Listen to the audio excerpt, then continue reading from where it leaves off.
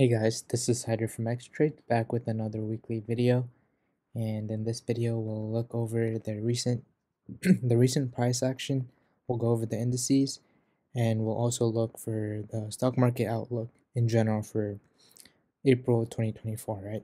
So as usual, we'll start off with the indices, start off with SPY and QQQ.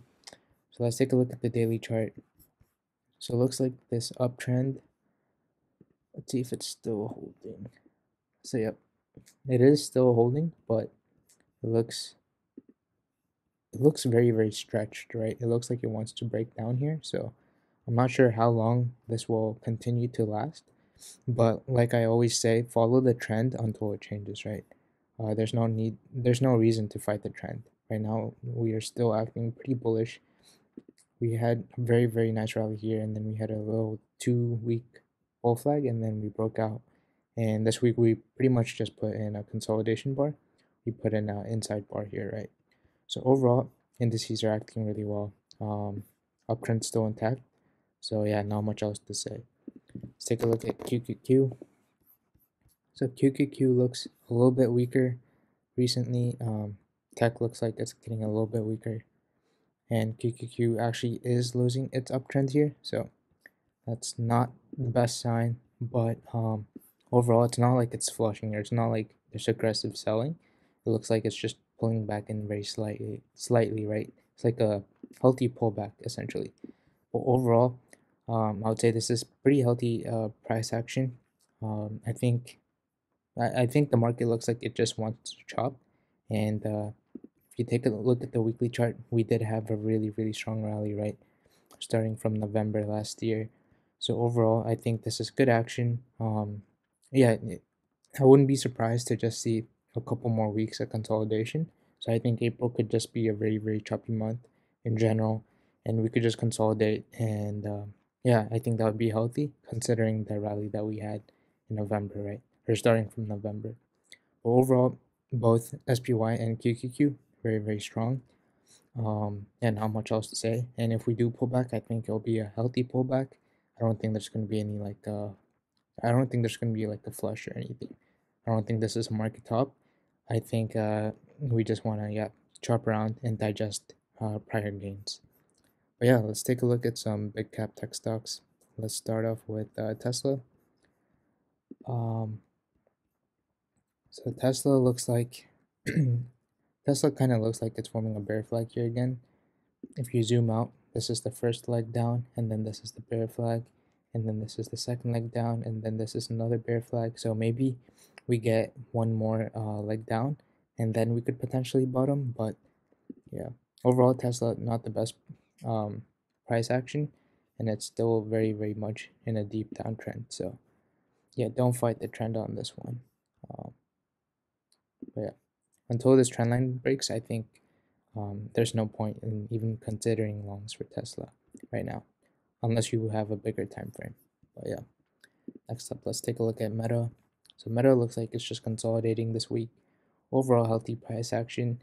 Key support level is at that 470 level. Let's take a look at the daily chart. So Meta is uh, in like a short-term downtrend here. It's been pulling back for a couple days in a row now. But overall good action. And yeah, there's a key support level at that 475. If we lose that, then we can gap fill. But overall, Meta is acting pretty well. It's just consolidating its uh, gains. But overall, yeah, Meta also had a very, very strong rally starting from 2022 actually. But yeah. Next up, let's take a look at Apple. So Apple actually looks like it wants to break down here. That um, yeah, that 169 level was very, very key. If we lose that, then we could definitely see a bigger flush and we can make we could see a move potentially all the way back down to that 156 level. So um, yeah, Apple, you definitely do want to be careful here. If it if it loses that 169 level, I think this is a really good short setup. Next up, Netflix. Netflix is in a very very steady uptrend. Well, last week it also started pulling back just a just a little bit, but overall it's still acting really well and it looks like it's just starting to consolidate more here so overall i would say netflix is uh, acting great and yeah key resistance level 623 key support level 591 uh, next up let's take a look at Microsoft. Microsoft is putting an inside weekly bar here on the weekly chart. Um, yeah, overall Microsoft's acting well too. Did have a pullback last week, but it is holding that 420 level, which is a key support level. So overall, Microsoft's acting really, really well, uh, and it's acting the best out of all the big cap tech names, I believe. Uh, next up, Google. Google had a very nice rally last week or the last couple weeks, but ever since the bottomed, uh, yeah, early March, it's had a really really nice rally, and now it looks like it's starting to like form a flag here. Think Google's the only one that didn't pull back much this week, but Google is forming a really nice flag setup. Um, so yeah, this is definitely a top watch for next week. Nvidia, king of the markets. Uh, this one looks like it's pulling back in a little bit more here. On the weekly chart, it looks like it just needs more consolidation. Had a huge, huge rally, right? So just a couple more weeks of consolidation wouldn't hurt, right? So I think overall, NVIDIA is acting really, really well. We just need uh, some more consolidation just because it had such a strong move up. So overall, NVIDIA is still very, very bullish.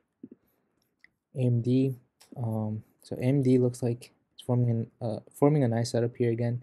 If it can clear that 184 level, this would be a good long setup.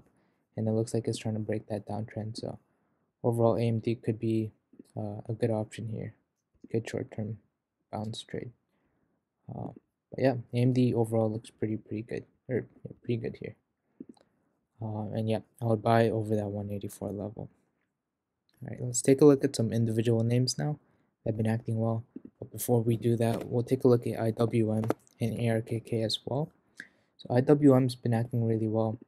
Uh, still very, very choppy name, but it looks like it, it wants to go for that 213 level. Uh,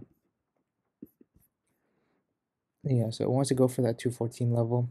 Um, and if it can hit that, then there's a good chance that we'll hit some turbulence there. And that's a very key resistance level. So we'll see what happens. But overall, IWM has been acting really well since uh, 20 or er, yeah, since the start of 2024.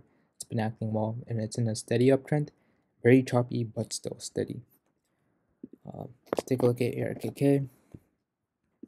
So ARKK is still in this chop here. Um, nothing changed. Bullish above that 52.3 level, bearish under that 48.2 level. So still going sideways here. So not bad, not good, just going sideways. And now let's take a look at some individual tech names. Start off with Coin. So Coin's actually forming a really nice flag setup here, and this is one that I really like for next week. This is a solid setup. Um, but yeah, Coin's acting very, very well and showing a lot of relative strength. Uh, next up, Dell. Dell had monsters earnings gap up, huge volume, and uh, it pulled back in, and now it's starting to form a little setup here. So if it can clear that 116 level, it looks good for a long setup, and if it loses that 110 level, um, it could be a short trade. But yeah, Dell is offering a nice uh, low risk, good reward entry here. SQ SQ had a nice bull flag setup uh, last week, did gap up, and then uh, tried to break up a field But it's forming another flag here again, and uh, yeah, this one looks like one worth watching again. For next week, on the weekly chart, looks like it's ready to break out of this big base. So overall, SQ looks really really good. Um, yeah, Lots of potential for this name. CAVA, recent IPO name. This one continues to grind higher and higher, regardless of the regardless of what the market is doing. This one just continues to grind higher and higher, right? So very very clear sign that institutions are buying up into the stock. Um, ever since that big volume bar, it's just been in a very very strong uptrend. So this is a name that you definitely want to keep an eye on. Hood, uh, this stock is in a very very strong uptrend as well had a nice bull flag setup um, last week. Little mini bull flag here. And yeah, it just continues to go higher and higher. Key resistance at that 20 level, psychological level. But overall, hood looks really, really good. And uh, I do think it needs some more consolidation. There's no good, like, low risk uh, setup here. But yeah, hood is definitely one to watch. Very, very strong demand for the stock. Next up, LLY. LLY is trying to break out here. Uh, that 780 level is very, very key. If we can take that out and close above, then this one looks like it wants to go to 800 and potentially a lot, lot higher, right? And uh, yeah, these are the two, key levels, 780 and 743. Next up, CrowdStrike. CrowdStrike is actually forming a pretty nice bull flag setup here. If you take a if you take a look at the weekly, it looks a little bit better. So this one's really tightening up now, so this one looks really good. Um, yeah, this one's definitely one to worth, or this one's definitely one worth watching for next week. Lyft, this one also looks really good on the weekly chart. Had a huge earnings breakout, huge volume, made a nice flag, broke out. Now it's putting an inside bar here. So this one looks really, really good. Um, yeah, this is another top setup for next week. Uh, forming a nice bull flag here. Me adjust the flag. Yeah. Overall Lyft looks really, really good here. This is definitely top setup. Let's see what else we got. SMCI. SMCI did have a nice rally. Nice bounce off that 850 850 low. Yeah, around 850, but it's starting to form another bull flag here, so we'll see what happens. Um, overall, it's acting pretty well, and I think if it takes out that 1044 level, this could be a nice short-term long play. And last but not least, CGC. This one is um, wheat stock. Wheat stocks have been acting really well. Um, MSOS, the US cannabis ETF, this one's also acting really well too. It's breaking out of this base and uh, yeah, nice volume. But yeah, CGC is on my radar because of that volume. Let's take a look at the weekly chart. Look at how significant that weekly chart or weekly volume looks um, compared to like the previous bars, right? Look at the, these bars and look at the previous bars. This is a very clear sign that institutions could be loading up into the stock. So that's why I got on my radar. And it did form a nice flag setup and then broke out on uh, Thursday. I didn't end up buying this one just because uh, it was way too wide. I want low risk setups, right? Um, yeah, this one's way too wide, but if it sets up again, then I'll be watching it. So yeah, just watching for it to form some sort of flag here with a tight uh, stop loss. Um, but yeah, this one looks like it has a lot of potential and this one can easily double or triple, right? So, yep. But yeah, that's pretty much all I have for this week. If you guys are interested in one-on-one mentorship, feel free to DM me on Discord. But yeah, have a great weekend and thank you guys for tuning in.